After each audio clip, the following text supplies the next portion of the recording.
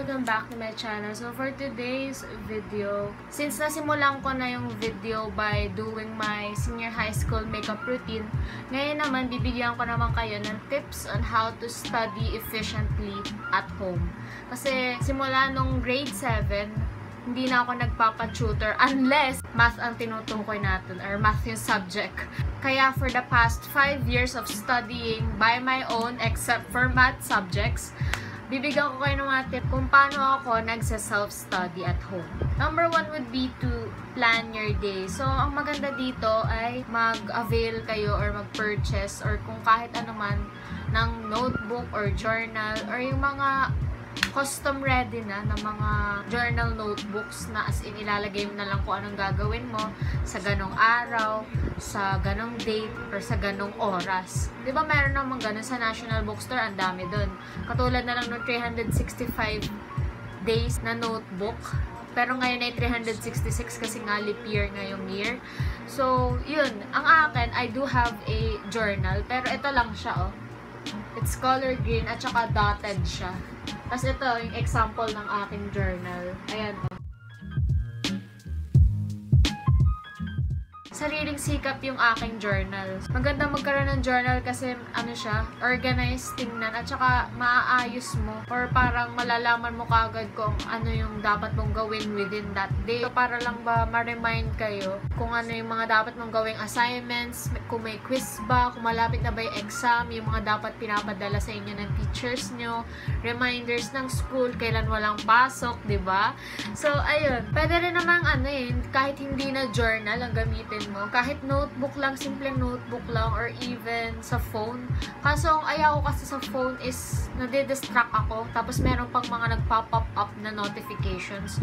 Eh, minsan, merong time na nag, ano, like, yung notifications ko or yung reminder ko at saka yung notif ng Facebook man or YouTube or Instagram ay biglang nagsabay, hindi ko siya napansin kagad. Kaya ay yun lang ang ayaw ko pag nagre-remind or naglalagay ng something important sa aking phone.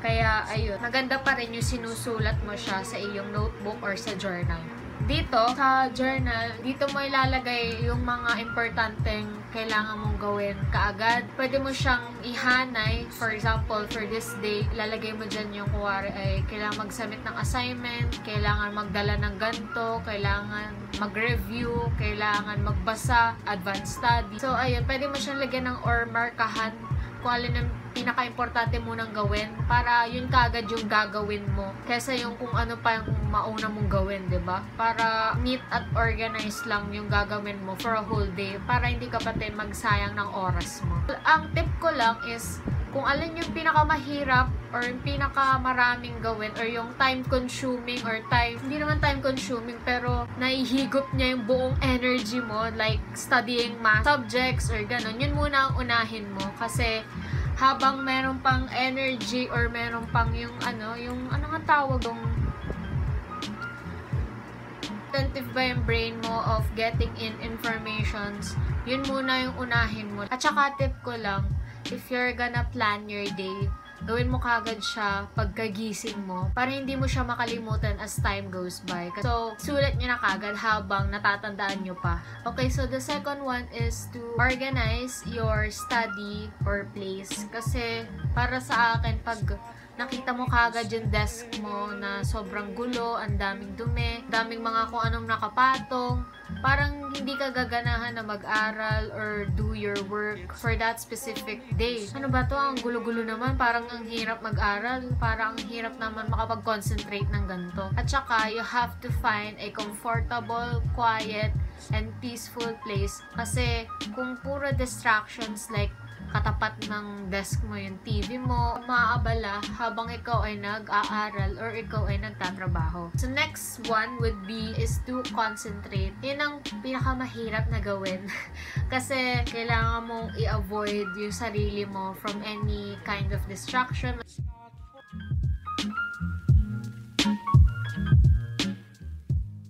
Mas lalo na yung mga cellphones natin na laging nagno-notif, meron daw nag-like ng ganyan mo, nag-message si ganyan, merong lumabas na video. Siyempre, mapapatingin ka, baka mamaya si crush na pala yung nag-chat sa'yo, ba? Or kaya ay may kailangan or important announcement yung iyong teachers or kaya yung iyong class president, ba? Kaya mo ma-miss out sa mga ganon. So, ang tip ko na lang is, i-video nyo yung sarili nyo na nag-aaral. Kasi napaka-effective nun sa akin. Kasi kita ko sarili ko na nag-aaral, parang na, na motivate ako. Wow, na ganito pala ako. Marunong din pala ako mag-aral, mag-isa. Parang ganun. Para sa akin lang kasi, kaya mahilig ako manood ng mga study videos or study vlogs. Kasi nai-inspire ako at na-motivate ako every time na pinapanood ko sila na parang kaya ko rin maging ganyan. Pero gusto nyong itry kung mamomotivate nga talaga kayo, try to watch some study vlogs kasi doon ako na-inspire or doon ako na-motivate na mag-aral lalo. Tapos, minsan habang nag-aaral ako, meron akong laptop na nakabukas tapos pinapanood ko yung study vlogs na yun. Tapos, pag medyo tinatamad na ako, medyo parang napapagod na ako, titingin lang ako ng konti dun sa aking kaliwa or dun kaya sa kanan, kung saan man nakalagay yung aking laptop, then naging, mamomotivate na ulit ako kasi may nakikita akong nag-aaral rin. So, parang study, study mate ko siya, study buddy ko siya, ganun. So, another one is, kung ayaw mo naman na mag-video yung sarili mo dahil mo kantanga, edi ang gawin mo na lang is, i-turn off mo yung iyong wifi. Ba pwede naman tanggalin, ba? Pwede naman mag-disconnect ka muna. Or kaya, kung naiirita ka dahil merong magte-text sa'yo or meron tatawag, patayin mo na yung iyong cellphone. okay, so number 4 would be to take down notes. Okay, so sa amin, wala lang kasi kaming libro. Kaya kami talaga, kailangan namin maging attentive whenever there is a class going on or mga lectures, mga importanteng lectures. Mas lalo na kung major subjects yan, di ba? Para kung merong quiz or exam, syempre meron kang masasagot. So, ang tip ko lang is to take down the most important detail na kailangan. Kailangan mo rin maging attentive sa sinasabi ng teacher mo kasi mamaya may sabihin pala siyang important detail, hindi mo na isulat dahil bingi ka or kaya naman hindi ka nakikinig talaga sa kanya or na distract ka of something, edi paano yun kung lumabas yun sa quiz nyo or kaya sa exam nyo, eh, worth 10 points yun. O di sayang yung 10 points na yun, ba diba? Mas lalo na kung ginawa niyang essay or ginawang, ano yun, identification. Wow, identification 10 points. Pero pwede rin, malay nyo. Diba? Kung ano man trip ng teacher nyo napaka-importanting detail pala yun na na-miss out mo, di ba? So, ayun. Tsaka yung pagiging attentive mo, uh, pa, sa pakikinig ng iyong teacher is a way para hindi ka antukin. So, number five is to ask. Siyempre, merong mga times na nagbabuff ang iyong utak.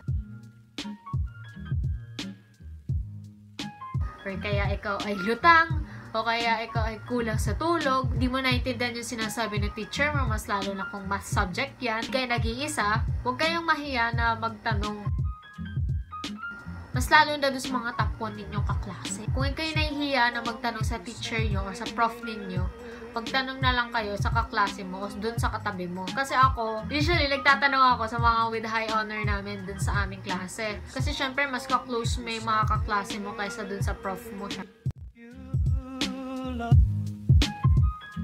So, number 6, last, para sa mga nag-aaral at home is to take a break.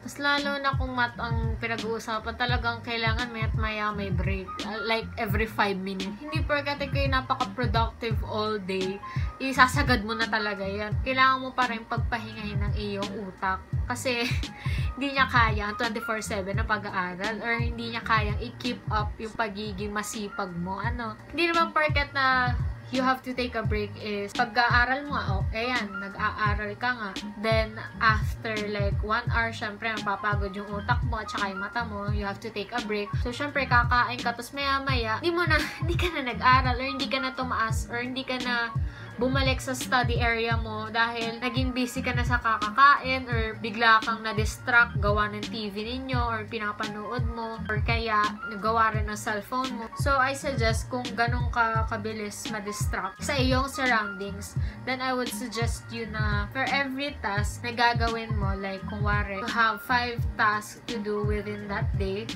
Kuwari, um, for every task na matapos mo, so, kumari, kung muna mo muna is magbasa or mag-advance reading sa general biology, edi, after mo matapos yung task na yun, you have to take a break. So, bigyan nyo ng timer yung sarili niyo. Kuwari, break mo lang is 20 minutes, ganun.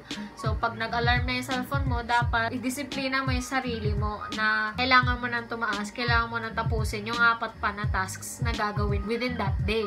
Para hindi ka yung tamarin within that day. Kasi, syempre, pag nag-take a break ka, parang iisipin mo, tuloy-tuloy na yung break na yun.